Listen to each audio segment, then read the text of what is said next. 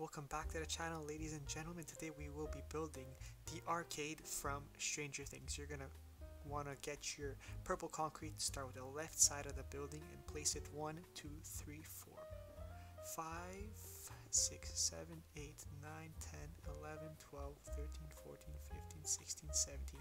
From there we're gonna do the back, so 2, 3, 4, 5, 6, 7, 8, 9, 10, 11, 12, 13, 14, 15, 16, 17, 18, 19, 20, 21. Then we're going to do the right side. 2, 3, 4, 5, 6, 7, 8, 9, 10, 11. You're going to leave a gap for a door.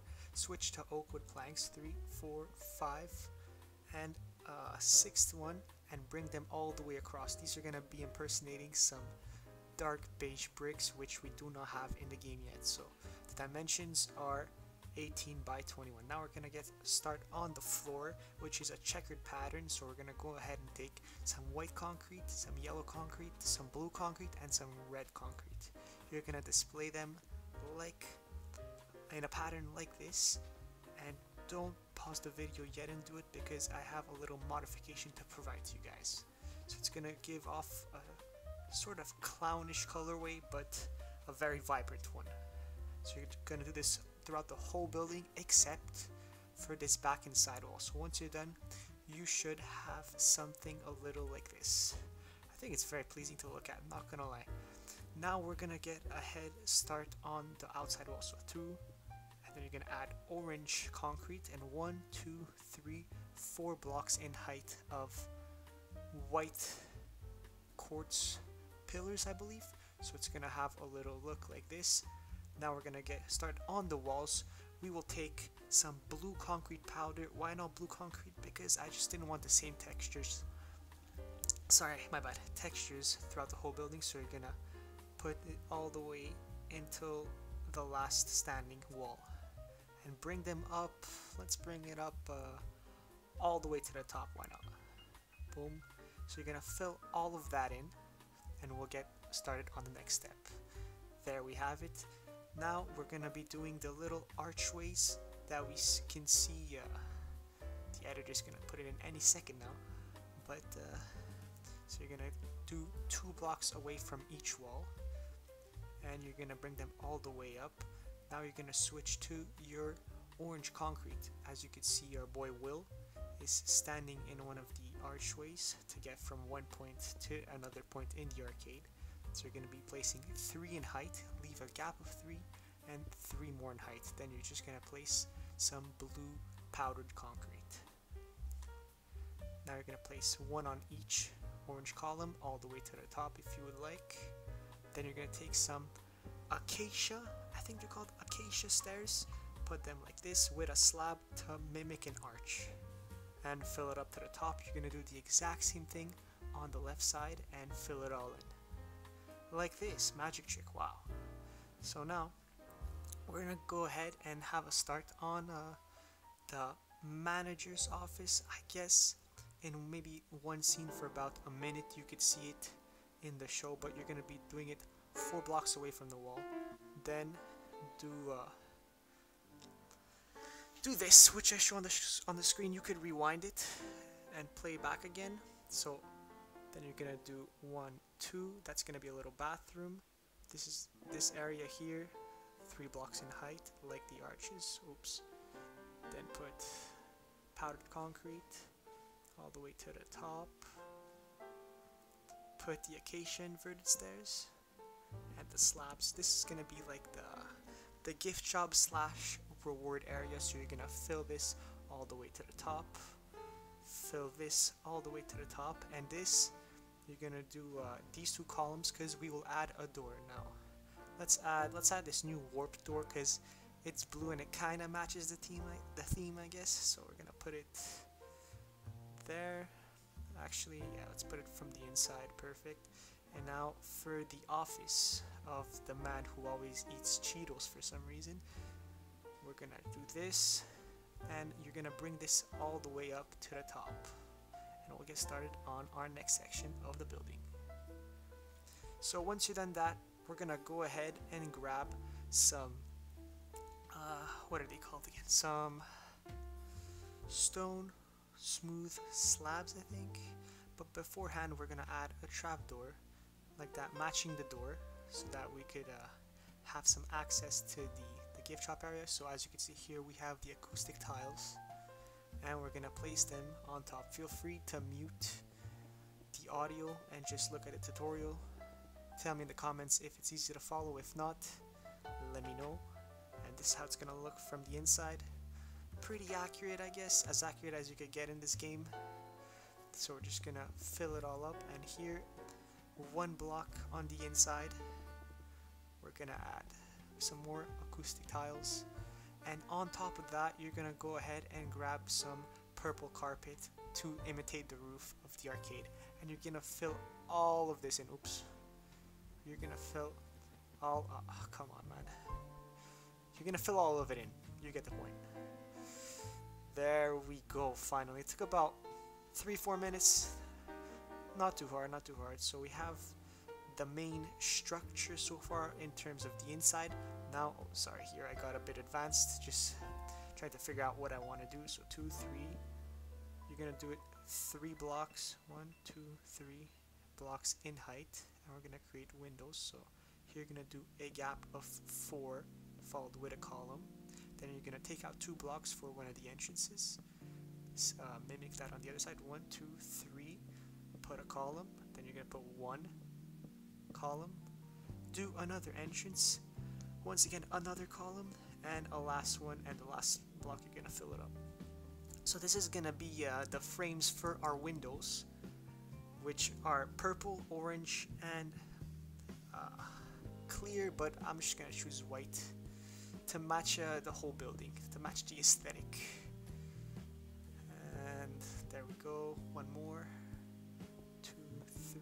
4 so you're going to cover all the windows like that and on top of them you're going to put the pillar quartz block and fill it up all the way to the very top and you're going to cover that with some purple carpet. In terms of the doorway you're just going to do the exact same thing. We'll get started on that after we finish the windows. So it's going to look something like this. It looks kind of modern but we're going to spice it up and see what you could do. So you're gonna go ahead and grab some terracotta. I'm not sure which one that one's called. It's a bit brown. It's, it's got a bit of purple in it. You're gonna go ahead and grab your iron doors with oak wood buttons so that they uh, they camouflage into the wall so you don't get some weird squares popping out of the wall and that's what you're gonna do for the doorway and for the second one in the front of the building so you're just gonna replicate what I just did there. Pretty straightforward, nothing too hard. I'm just gonna fill in this carpet fast fast. And there we go. And for the door, we're gonna replace this with the terracotta, add the buttons, the iron door, and finally the two missing pieces of glass pane. The orange glass pane, oh my bad, the orange glass pane and the white glass pane. Alright, so you're gonna replicate, like I said before, oops, I left the carpet there. As I said before, the doorway on the right side. And now we're gonna get started with a bit of landscaping to, to spice it up. So you're gonna take your light gray terracotta, place it three blocks in width and all the way to the other side for the length and you're gonna fill all of that in like I'm gonna do a bit here to to make it bit simpler for you guys. And then here you're gonna go one two three four five six. And you can see there's a little yellow under the doorway. So we're gonna take our yellow concrete place it like that. And uh, that, that, I mean we stick to the details right guys? So then we're gonna go ahead and grab some white glass panes to mimic the water drain from the roof. You don't have to if you don't want to I just think it adds extra detail. So after we're done filling all of that in, you're gonna go ahead and grab some whatever this block is called. I think it's I think it's some more terracotta. You're gonna place it five in length and just every three blocks you're gonna be doing that for some parking spaces. Hopefully it lines up by the end, so we're just gonna tear all of that apart. Boom, three block gap put another line, three block gap, put another line, three block gap, put another line, and perfect. It lines up just right. So two, three, four, and five actually yeah we're gonna put it six in length just to to make it uh, a bit more aesthetically pleasing to the eye now we're gonna go ahead and grab some stone smooth slabs to mimic these concrete uh, car stoppers from driving into the doors I guess. So then we're gonna tear this apart. And let's just let's go another layer yeah. All the way let's see one two three four five six seven and eight blocks. And uh, you know what, let's just tear all of this into the other side of the building right here. Perfect and we're gonna go ahead and grab whatever block you want. I'm gonna choose cyan cyan I don't know what it's called. You could even go ahead and grab some powdered concrete to to impersonate some uh, some dirty road or some old road but I'm just gonna keep it slick. Act like this is a new built building which it is in our world. And do something like this. So now we're gonna go ahead and get started on the overhang in front of the side door entrance. So you're gonna three four five six. Uh, let's go. How about one more from the wall? Two three and four in height. We're gonna put one across there and one across here. Then go ahead and grab our slabs turn them into a full block then one two three bring it to the wall after. One two three keep it symmetrical. For the palace sign on top let's just go ahead and grab some purple stained glass panes. We like them details we like them details they add extra. So we're just gonna do this and then fill it all in. I'll do a little bit of on-camera work.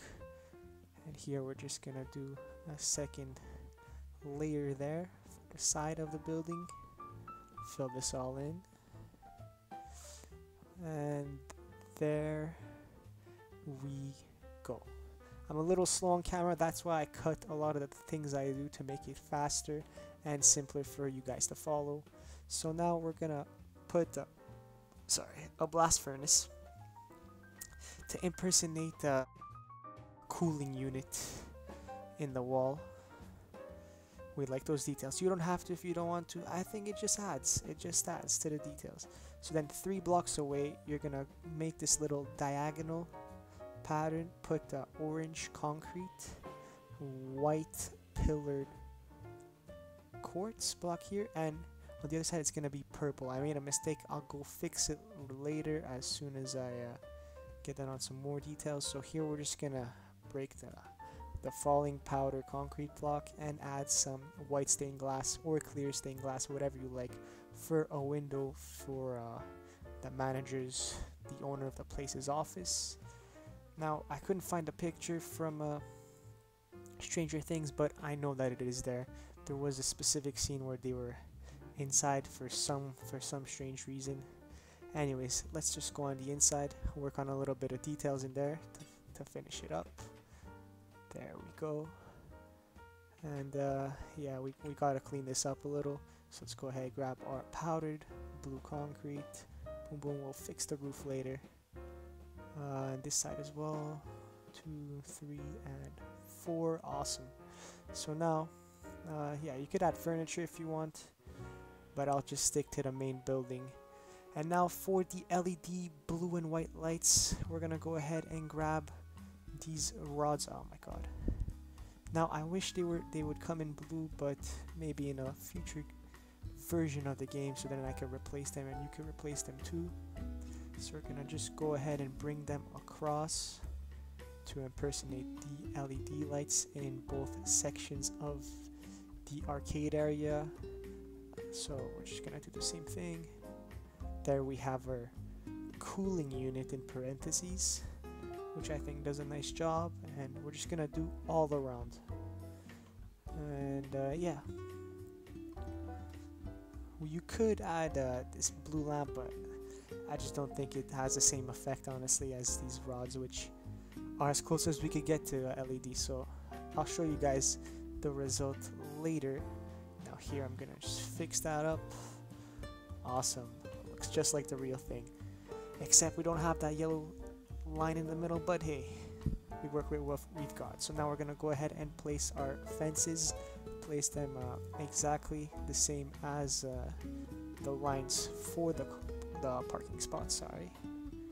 Boom boom you're gonna place four then you're gonna take your stairs and do something like this. And I'm gonna just bring it all the way across. Easy peasy there we go. And uh, now we're just gonna bring two th three and four. So then we're gonna go ahead grab our slabs and fill all of this in manually. I made a little mistake there where the, the overhang is. There shouldn't be a full block there but a slab. Uh, so now we're gonna go ahead and get started on the pinball arcade game section. So you're gonna go ahead and grab your yellow concrete and just do something like this. Boom bam bada beep pow awesome. Actually is that yellow concrete? I don't even know. So you know I'll just do the fence post off camera but there is the bike rack for some extra detail. And finally we will do the iconic arcade sign so you're gonna go ahead and grab uh, a block of brick like that then add some nether brick two three four fences followed with a yellow block then gonna go ahead and grab some quartz some quartz stairs in for those and finally some quartz slabs on top. I mean hey that's as close as we'll get. I think it's it's a success. It is a success. So this is how the arcade looks on the inside I finished adding those LEDs I think they give a fantastic atmosphere to the whole place. Anyways guys I hope you enjoyed it and uh, see you in the next one